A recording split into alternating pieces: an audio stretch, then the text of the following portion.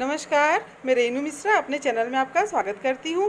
आज मैं लेकर आई हूँ यूपी और बिहार का बहुत ही प्रसिद्ध व्यंजन, अरवी के पत्तों की पकौड़ी, जिसे हम पात्रा या पतौड़ा भी कहते हैं। तो आइए, अब हम शुरू करें बनाना अपना ये पात्रा। तो इसके लिए मैंने ये अरवी के कुछ पत्ते लिए हैं। जितना कि बनाना हो, अब इसको हम धो लेंगे और धो के इस तरह से इसका पानी निकाल लेंगे। ये देखिए, बिल्कुल ड्राई हो गया है धोते ही। अब सब धो के एक प्लेट में इस तरह से रख लेंगे।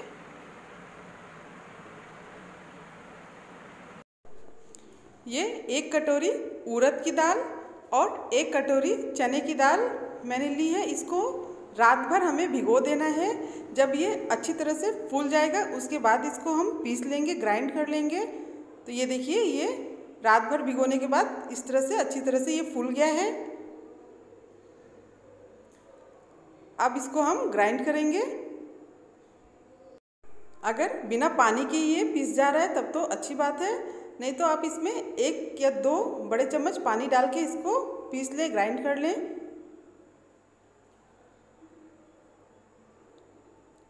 ये देखिए, इस तरह से हमें पेस्ट बना लेना है इसका। इसी तरह से बाकी जितने दाल हैं, सबको हम पीस लेंगे थोड़ा थोड़ा करके।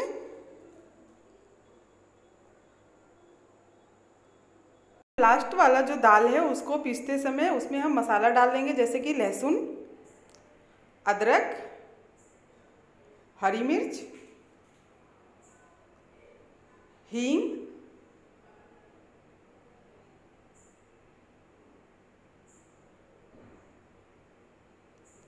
और हरा धनिया। अब इन सबको डाल के हम इसको पीस लेंगे। ये देखिए, ये पेस्ट हमारा रेडी हो गया है। अब इसमें हम एक चम्मच पानी डालेंगे। बहुत ज़्यादा पानी नहीं डालना है, वरना ये पत्तों पे लगाते समय परेशान करेगा। अब हम थोड़ा सा जीरा पीस लेंगे और इसको भी इस पेस्ट में मिला लेंगे। जीरा मिलाने के बाद अब इसमें हम डालेंगे लाल मिर्च पाउडर। इसमें हमने हरी मिर्च भी डाली है तो आप लाल मिर्च पाउडर स्वाद अनुसार ही डालें और नमक स्वाद अनुसार? गरम मसाला एक चम्मच। एक चम्मच धनिया पाउडर। एक चम्मच आमचूर पाउडर। आमचूर पाउडर बहुत ही ज़रूरी है इसमें डालना। इसको बिल्कुल नहीं भूलना है, आमचूर पाउडर हमें। अब इन सबको हम अच्छी तरह से मिक्स कर देंगे। अब जिस बर्तन में हमें बनाना है, कुकर या कढ़ाई या भगोना, उसमें पानी गर्म होने के लिए रख देंगे, क्योंकि पहले हम इसे स्टीम करेंगे, भाप से पकाएँगे। जब तक ये पानी गर्म हो रहा है, तब तक हम ये पत्ते रेडी कर लेते हैं। तो ये पत्ते मैंने जो धो के रखे हुए थे, उसको हमें लेना है। अब इस तरह से जो बढ़िया पत्ता है, उसको हम लेंगे और उल्टा रख के इस तरह से इस पर जो पेस्ट हमने दाल वाला तैयार किया है, उसको फैला लेंगे।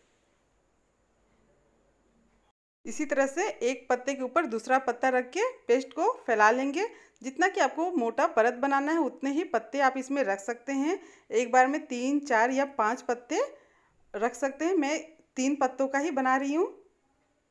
इस तरह से ये दूसरा पत्ता। इस पर भी हम बिल्कुल सेम उसी तरह से फैला लेंगे।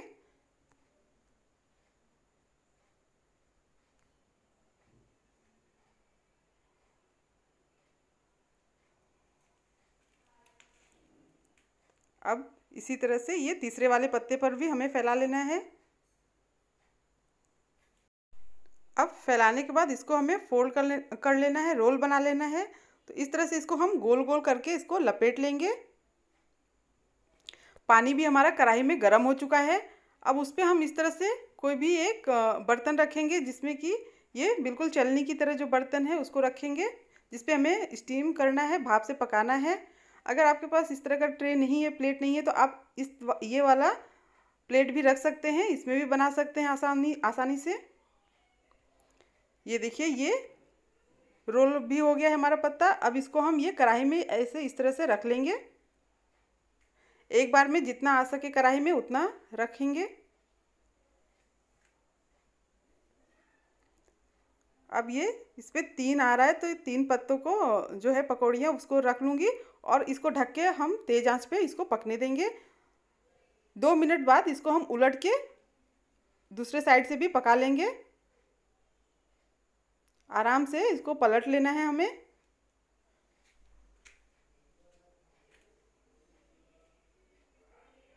इसी तरह से इसको, इस साइड भी हम दो तीन मिनट पका लेंगे। अब ये जब ये पक जाएगा तो इसको हम कढ़ाई में से निकालेंगे।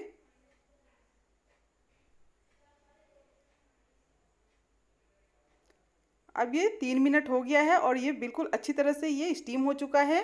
अब इसको हम एक प्लेट में निकाल लेंगे। निकालने के बाद इसको ठंडा कर लेंगे। जब तक कि ये ठंडा हो रहा है तो बाकी का जो पात्र है उसको भी हम कढ़ाई में रख देते हैं। जब ये ठंडा हो जाएगा उसके बाद इसको हम कट करेंगे।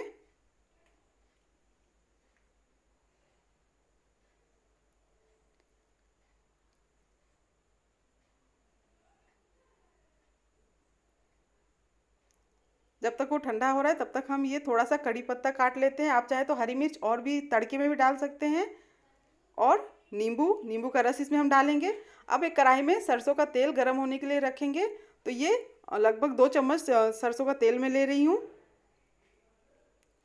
और ये देखिए, ये भी ठंडा हो चुका है। अब इसको हम काट लेंगे, कट करेंगे। जो भी साइज़ आपको पसंद हो, बड़ा, छोटा, उसी हिसाब से इसको कट कर लें।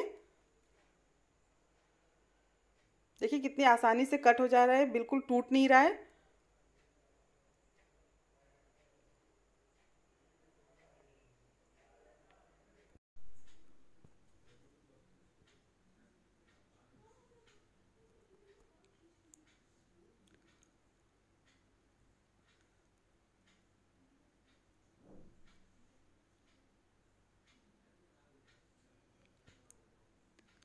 इसी तरह से, ये देखिए, कट कर लेना है हमें। तेल भी हमारा कढ़ाई में गर्म हो चुका है। अब हम तेल में डालेंगे ये सरसों और करी पत्ता। चाहे तो आप इसमें लाल मिर्च, सूखी हुई लाल मिर्च और हरी मिर्च भी डाल सकते हैं, लेकिन ऑलरेडी मैंने इसमें बहुत सारा मिर्च डाला है तो ये तीखा हो चुका है। अब इसमें जो पात्रा हमने रेडी किया है, उसको डाल देंगे कढ़ाई में।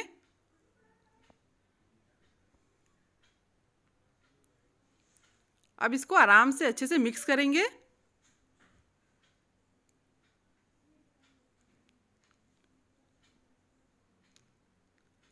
आप चाहें तो इसमें ऊपर से भी जीरा पाउडर, चाट मसाला डाल सकते हैं।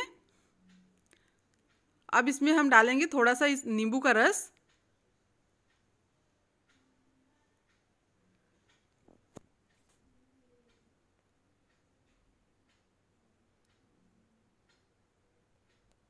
नींबू का रस डालने के बाद इसमें हम थोड़ा सा कुटी हुई लाल मिर्च यानी कि चिली फ्लेक्स डाल लेंगे।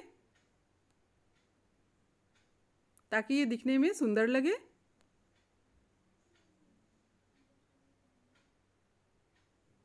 तैयार हो गया हमारा ये पात्रा या पतोड़ा। बहुत ही स्वादिष्ट बना है। आप इसे ज़रूर ट्राई करें। उम्मीद करती हूँ आपको मेरा ये वीडियो पसंद आया होगा। अगर पसंद आया हो तो प्लीज़ मेरे चैनल को सब्सक्राइब करें, लाइक, कमेंट, शेयर करें, ताकि मैं आप सबके साथ और भी अच्छी अच्छी नई नई वीडियो शेयर कर सकूँ। ये देखिए, ये पात्रा हमारा जब ब्राउन हो जाएगा, तब उसके बाद हम इसको कढ़ाई में से निकाल लेंगे इस तरह से।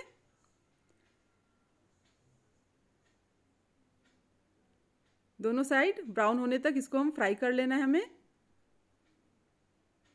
मेरा ये वीडियो देखने के लिए आप सबका बहुत बहुत धन्यवाद। Thank you.